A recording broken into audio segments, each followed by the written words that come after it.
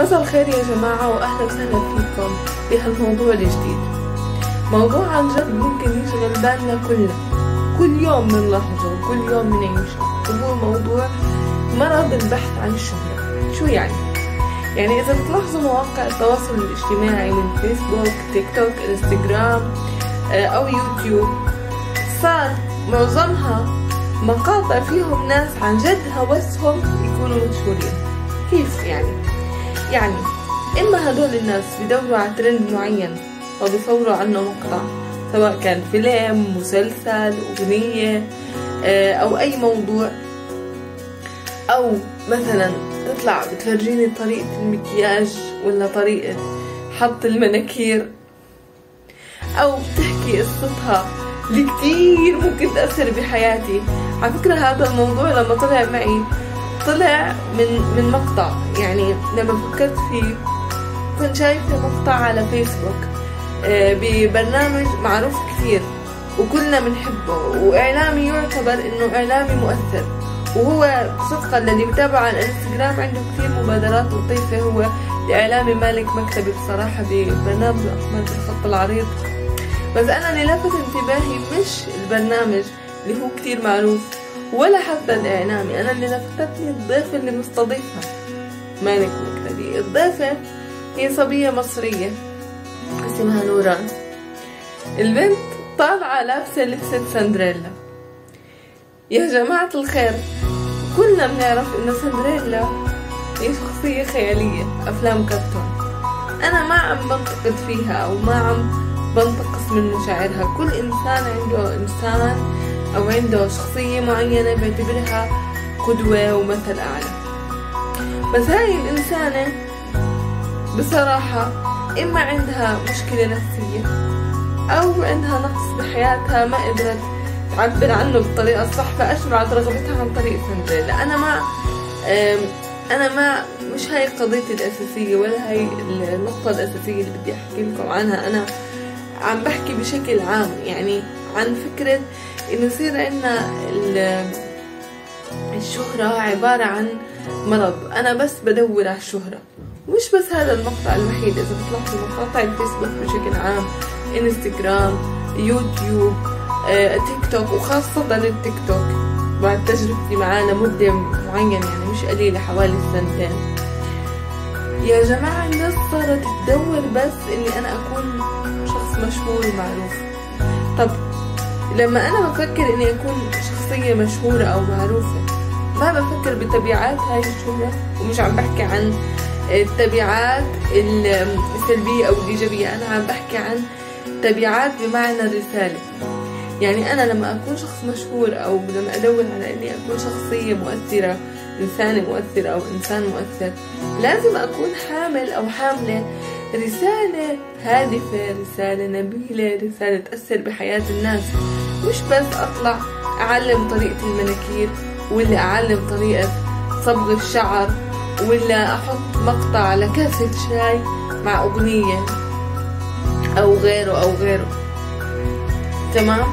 يعني أنا لما بدي أطلع على مواقع التواصل الاجتماعي اللي صارت مواقع أساسية بحياتنا وصار بطل نهارنا يمر عن جد إلا إذا فتحنا فيسبوك انستغرام يوتيوب وتيك توك وأنا ما عم بحكي بصفتي ما بستخدمهم أنا عم بحكي بصفتي شخص يستخدمهم يوميا. يعني أنا زي زيكم أنا بستخدم هدول المواقع يوميا. وبنزل عليهم مقاطع كل فترة وفترة سواء فيسبوك انستغرام يوتيوب أو تيك توك زي ما قلت لكم. كلهم عم بستخدمهم هدول وتويتر كمان. كل المواقع التواصل الاجتماعي أنا عم بستخدمهم زي زيكم. بس الموضوع صار مستفز. صار بالنسبة إلي مزعج إني أفتح تيك توك كل شوية ألاقي وحدة بتطبخ. طب تمام حلو إنه يكون عندك هواية الطبخ وإنك تعلمي الناس. بس لما يصير الموضوع هوس كل المقاطع عن الطبخ ولا كل المقاطع عن التجميل ولا كل المقاطع عن فنانة لابسة فستان معين ولا كل المقاطع عن أغنية ضربت شوي. يصير الموضوع إنه بتصير تدور انه وين الرسالة. طب أوكي الاغنية ضاربة وحلو نستمتع بأغنية حلوة حلو نستمتع بطبخة زاكية آه، حلو نستمتع بالتعلم بشكل عام. بس لما يصير الموضوع هوس أصير أقدم أي رسالة بتطلع براسي. وزي ما قلت لكم حالة نوران تحديدا اللي طالعة تحكي لي أنا بدور على الأمير و وبدي أتزوج على طريقة سندريلا وبدي أعيش حياة سندريلا وسندريلا بتجيني بالمنام. على فكرة يمكن شايفينه أنتم مقطع على فيسبوك لأنه المقطع يعني مش عارفة هو مثير للشفقة ولا مثير للضحك. أنا ما عم بنتقدها هي كإنسانة. بس إحنا ليش نسلط الضوء على هيك ناس يعني؟ في قضايا كثير أهم. مش نسلط عليها الضوء. في ناس كثير أهم. بيستحقوا إنه نسلط عليهم الضوء أكثر من هيك. مش وحدة عايشت لي دور سندريلا. وأنا برجع بقولكم أنا ما عم بنتقد فيها. أنا إذا بحمل المسؤولية بحمل المسؤولية للي سلط عليها الضوء. يعني للإعلام اللي سلط عليها الضوء. صحيح هي قصة غريبة ويمكن بتلفت الانتباه. بس يعني في قصص كتير بتستدعي إنه نهتم فيها ونغير فيها. وأنا زي ما قلت لكم. كإعلامي وكبرنامج الخط العريض. هو برنامج له رسالة معينة وهو. كإعلامي إحنا ما بنقدر أبدا أه ننتقص من نجاحه تمام؟ وكإنسان مبادر يعني لأني أنا بتابعه على الإنستغرام. بس أنا اللي لفت انتباهي بهالمقطع طب شو الرسالة؟ شو العبرة؟ شو شو الفايدة؟ شو رح أستفيد أنا من وحدة عايشة دور سندريلا؟ طب وعاشت دور سندريلا وبعدين لقت الأمير ولا ما لقته أنا شو رح يأثر بحياتي أنا هذا الموضوع اللي خلاني أدور أو أحكي معكم عن موضوع البحث عن الشهرة أو مرض البحث عن الشهرة الصراحة. هو يعني صار مرض. صار أي حدا آه، بيطلع بأي حكي عشان والله الناس تتفرج عليه وكل ما كان الحكي أسخف ديروا بالكم؟ كل ما كان الحكي أسخف كل ما الناس انشدت تتابعه أكثر هذا الغريب. نمط الناس نفسه تغير. يعني الناس قبل قبل فترة معينة. إذا بترجع لكم خمس ست سنين تحسوا الناس ما كانت تدور على هذا النوع من المواضيع على وحدة عايشة في دور سندريلا ولا وحدة بتعلم طريقة المناكير ولا طريقة المكياج. أنا ما عم بنتقص من هدول الناس بالكم. أنا ما عم بنتقص أنا اللي عم بحكي إنه أنت أو كإنسان أو أنت كإنسانة بس طالعين تفرجونا كيف طريقة المناكير اللي أنتم بتحطوه ولا طريقة الشعر اللي أنتم بتستخدموه ولا ولا موس الشعر ولا ولا نوع الطحين اللي انت بتستخدميه بالطبيخ. يعني هذا الإشي صار مبالغ فيه. أنا بس بدور على مقطع أنشهر من خلاله أو بجيب ممثلة ولا مطربة لبست فستان معين. وشفت الموضوع طلع ترند فلانة طلعت ترند فبستخدمه. مباشرة لأني حكيت عن نفس الموضوع. طب ما أنتوا إذا كانت الرسالة سلبية عم بتعززوا. هلا إذا إيجابية وبدكم تنشروها okay مع العلم إنه معظم الرسائل اللي عم تطلع عن تيك توك تحديدا. okay؟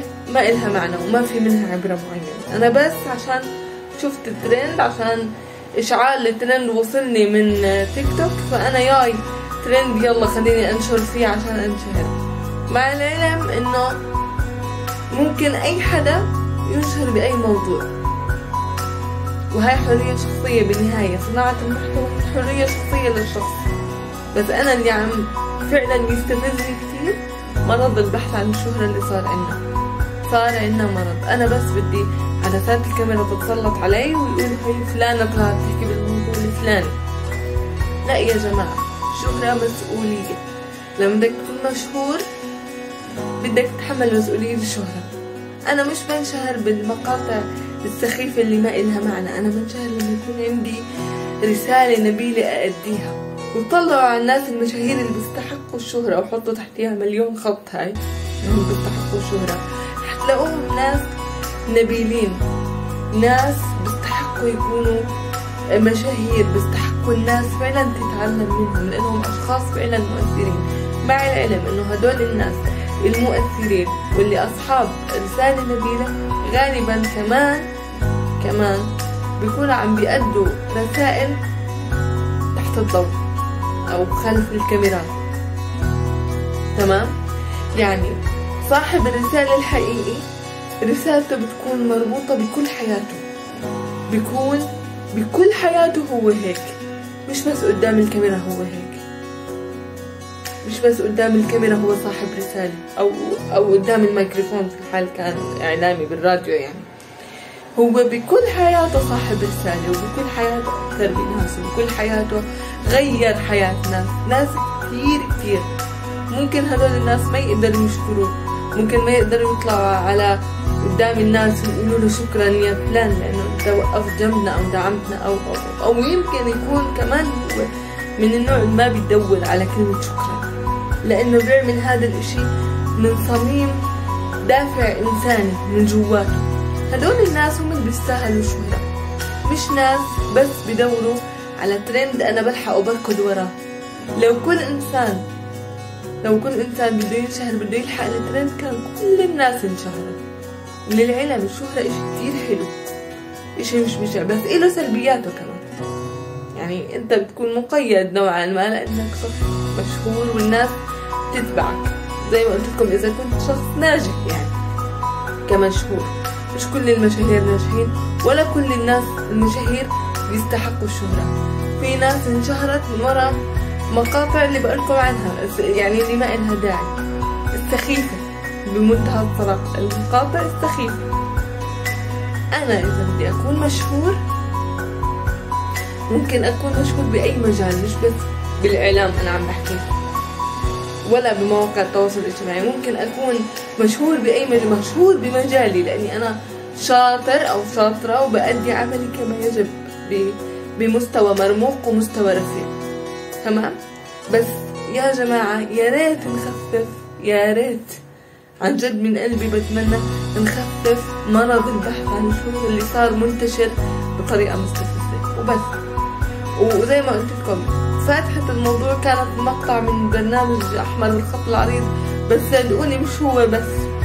المقاطع كلها بشكل عام على مواقع التواصل الاجتماعي صايرة مستفزة على أمل إنه يتحسن مستوى هالمقاطع ونصير ندور فعلا على الأشخاص اللي تستحق الشهرة والأشخاص اللي فعلا عندهم رسائل نبيلة ونتبعهم هدول الناس لأنهم فعلا بيكونوا مثل أعلى وبس ضلوا بخير وأعطوني رأيكم بالموضوع.